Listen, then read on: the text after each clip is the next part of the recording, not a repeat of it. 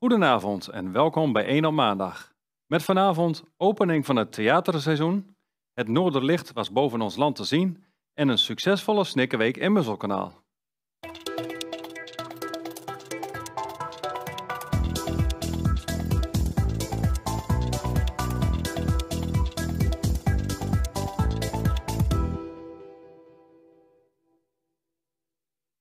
Politie heeft opnieuw een 23-jarige vrouw aangehouden op verdenking van betrokkenheid bij het overlijden van de tweejarige Daan begin januari in Veendam.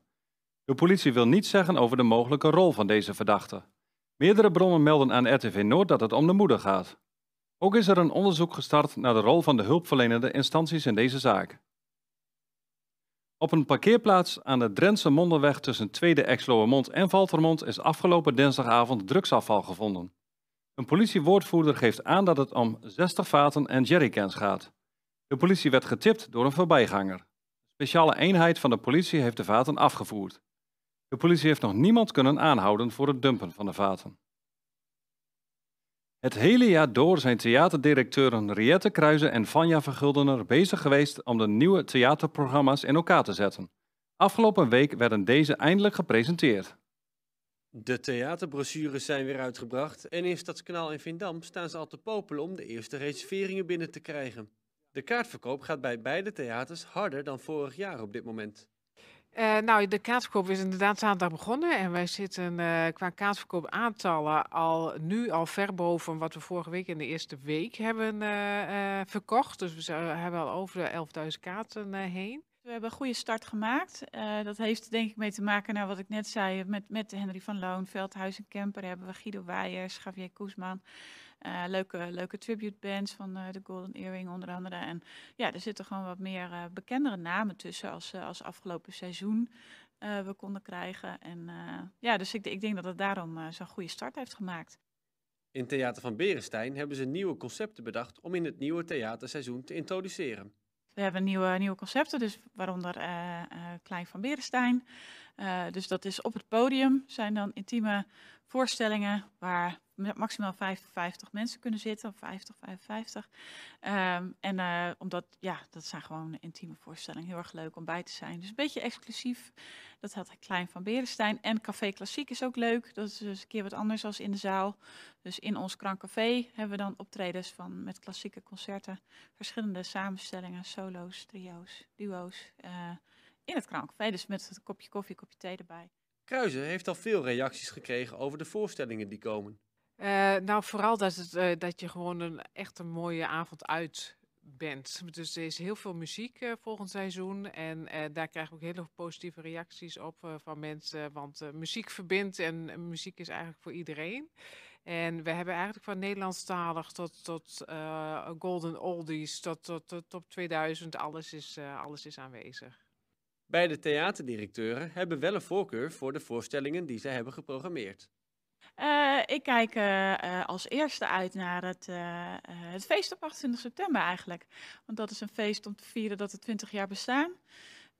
Um, al 20 jaar. Dus, en dat gaan we vieren met onder andere Roxanne Hazes en een hele leuke coverband, Casino Royale en uh, ook een DJ komt daar. Ja, er zijn heel veel voorstellingen waar ik naar uitkijk volgend seizoen. Uh, bijvoorbeeld de Aston Brothers, uh, die zijn er weer, maar ook mooie musical Josephine Baker. maar ook alle prachtige kindervoorstellingen die erin staan volgend seizoen.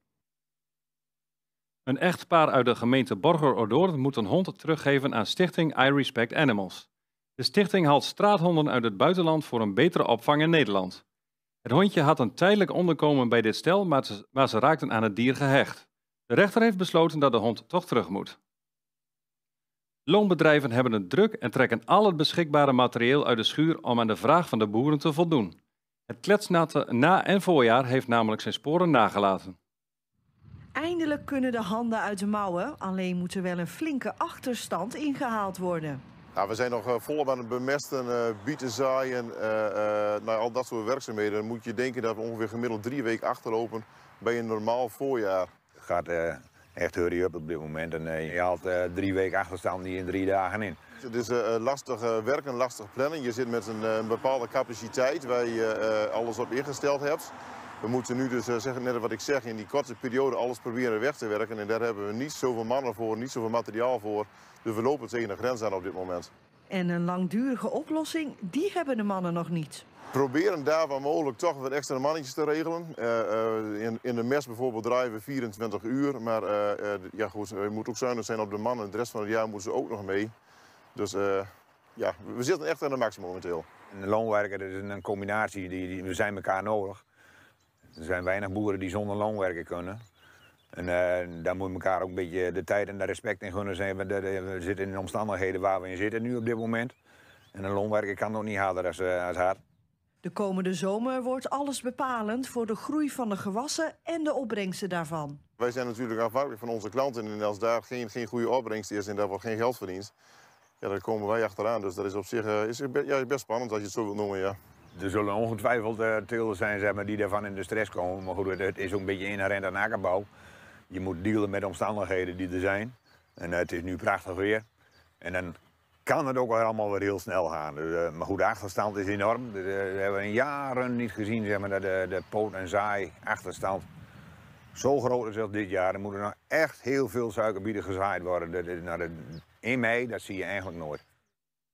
Een jaar na de opening van hun vernieuwde boerderijwinkel is er een nieuw hoogtepunt toe te voegen aan boerderijwinkel bij de Boerhin, net buiten het Stadskanaal. Zijn namelijk de één na beste boerderijwinkel van Nederland volgens platform Lekkerder bij de Boer. Mensen konden via de site van Lekkerder bij de Boer stemmen op alle boerderijwinkels in Nederland. Eigenaresse Alida Mering is trots op de behaalde tweede plaats. Drie voorstellingen in en over de Veenkoloniën. Dat gaat in het laatste weekend van mei gebeuren door het reizende theater Gronings Vuur. Natuurlijk moet daar ook voor gerepeteerd worden. In Stadskanaal gebeurde dit in de Semstraatkerk. In het laatste weekend van mei is het zover. Dan barst van hier door het Gronings Vuur los. Drie theatervoorstellingen in en over de Veenkoloniën. Zowel in Veendam, Pekela en Stadskanaal klinkt er dan muziek en wordt er gespeeld. Maar voor het zover is, moet er natuurlijk gerepeteerd worden in Stadsknal gebeurt dat in de Semstraatkerk, waar regisseur Mees van den Berg de muziek en spel aan elkaar lijmt. Het is fijn dat het bijna zover is. Er zit natuurlijk een jaar aan voorbereidingstijd in voor ons als makers. En nu langzaam komen daar steeds meer gezichten bij en wordt het echt van hier. In Stadskanaal maken wij Torf, een muzikale voorstelling. En um, het is een verhaal over de omgeving Stadskanaal. Vanaf het eerste moment dat ik hier kwam, kon ik niet onder de ambacht en het harde werken wat geleverd is voor deze omgeving, wat ook wel de trots is die ik steeds terugkrijg van de bewoners over Stadskanaal. Dus we zijn een verhaal aan het maken over het landschap, gespeeld door het karakter Torf. En de rol van het karakter Torf is in handen van acteur Wouter van Oort. Torf. Torf is het veen, is het grond, is stadskanaal, is het land. Ja, dat eigenlijk. Nou, weet je wat het met spelen is? Ik heb gewoon een hele mooie monoloog gekregen. En die monoloog, die tekst, die geeft mij alle ingrediënten die nodig is om, om hem te worden, te zijn. Voor de hoofdrolspeler is het niet moeilijk om binding met de regio te vinden aangezien hij een echte Noorderling is. Ik ben zelf een Drent, dus eh, ik ben geboren in Drenthe. Mijn vader komt uit Groningen, mijn moeder uit Friesland. Dus het noorden is gewoon van mij, sowieso. uh, en ik vind het altijd op locatie werken en zeker als je echt specifiek naar dorpen gaat of steden. Uh, echt naar een plek de, om daar even in te duiken, de geschiedenis, de dingen, de mensen. Ik vind dat altijd wel iets toevoegen. ja, ik, ik hou er heel erg van. Ja. De voorstelling zelf zal gespeeld worden achter de iconische watertoren van Stadskanaal. En wat de cast en crew betreft, zijn zij er klaar voor. We lopen op schema. De muzikanten kennen hun muziek. Uh, en we gaan het nu alleen nog maar mooier en beter maken. En ik hoop dat, en ik kijk er heel erg naar uit om dat te gaan delen. Vrijdag en zaterdagnacht konden veel Noorderlingen het Noorderlicht zien. Het natuurverschijnsel was met het blote oog waar te nemen op meerdere plekken in Nederland. Het komt door de sterkste zonnestorm in ruim 20 jaar. Veel inwoners van de regio maakten gebruik van de gelegenheid en maakten mooie plaatjes. Een heerlijk moment voor de buffels van Buffel Farm Meems uit Onstwedde. Ze mochten weer naar buiten. Een kleine groep mocht op een heerlijke lentedag naar het vers gemaaide gras en een duik nemen in de modderpoel, onder toeziend oog van zo'n 250 toeschouwers.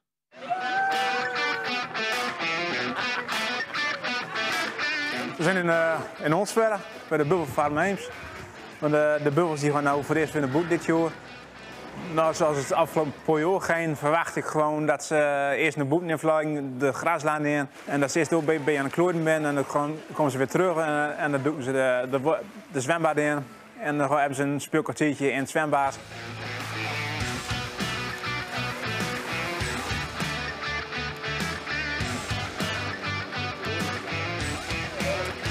Dus en ik ben een pool bij, die komt voor eerst boeten. Dus ja, dat is altijd even eh, kijken wat zij dan doen. Dus nu hoop ik dat ze ook weer tot november, december weer eh, boeten kunnen doen.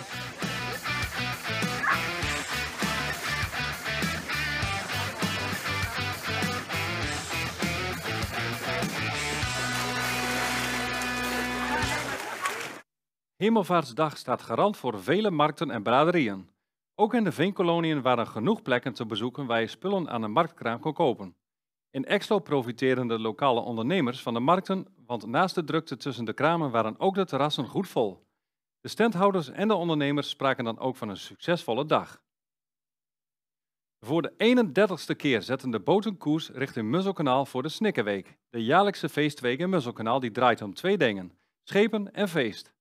De sfeer op de zonnige Hemelvaartsdag was goed en de organisatie kijkt trots over het kanaal naar de voor hen hoge opkomst.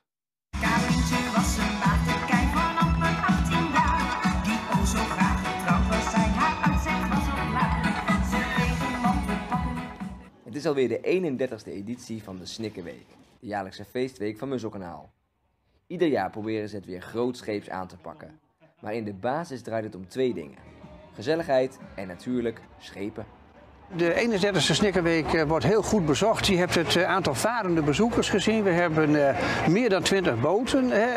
En daar zijn we heel erg blij mee. En dat heeft alles te maken met het feit dat de Groninger Motorbotenclub zich hier gemeld heeft met 17 schepen. Toch is zo'n Snikkerweek niet van de ene op de andere dag georganiseerd. De organisatie moet ieder jaar weer alle zeilen bijzetten om niet de boot in te gaan. Eh, sinds Joop Zuidema, onze secretaris, eh, helaas ons ontvallen is, eh, hebben wij ook gezien wat er allemaal aan werk op hem afkwam. Ik heb daar een heleboel van overgenomen. En die vergunningsaanvraag, ja, daar moet je pas, echt een paar dagdelen tijd in steken. Maar we hebben heel veel medewerking van de gemeente. Dus eigenlijk is dat geen belemmering. We hebben tegen elkaar gezegd, de Snikkerweek is gebouwd rond de Snikker. De historische trekschuit die jaren geleden hier nagebouwd is in Stadskanaal. En wij blijven tot in lengte van jaren de Snikkerweek organiseren. Met één belangrijke reden. We willen weinig boten, maar als we hem organiseren hebben we de kans op meer boten. En dat blijven we doen.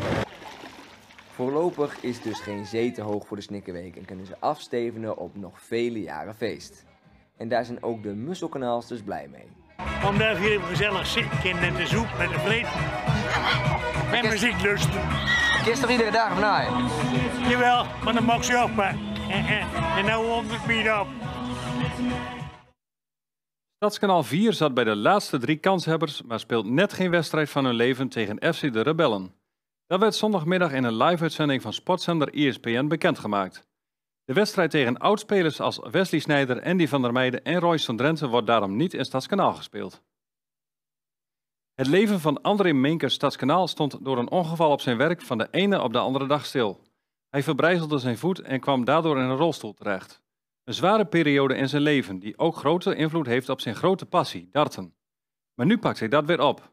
Iemand wees hem op paradarten, een jonge sport, maar daarom geen mindere uitdaging.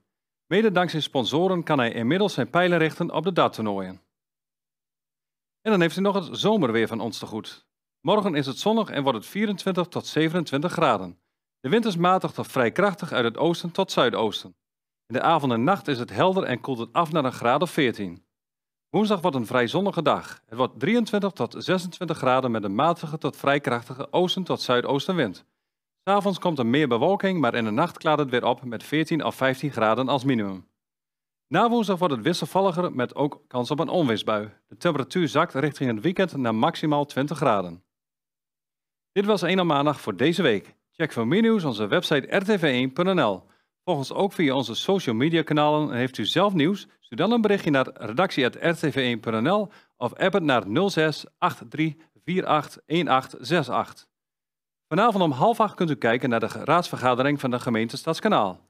Aanstaande vrijdag zijn we weer met 1 op vrijdag en over twee weken zijn we weer met 1 op maandag. Vanwege Pinksteren. Voor nu nog een hele fijne avond.